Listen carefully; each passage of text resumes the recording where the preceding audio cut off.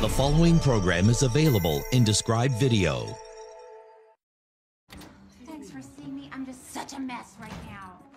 Is that Edie? Let me guess, she's a mess, right? Uh, Craig has been gone for almost two days. He won't answer his phone. I don't know what to tell Alan. Plus, our wedding caterer keeps calling about the appetizers. I panicked. I told her just to double them. Shh, take the wine.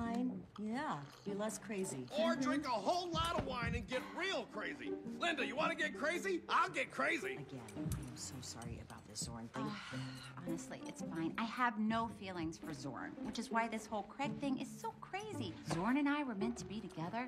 If that were true, we'd still be married, and I wouldn't owe him 10 chickens a month. Zephyrian alimony is so weird. I just don't know what to do. I'll tell you what you're gonna do. You're gonna come with me, and we're gonna go find your fiance together.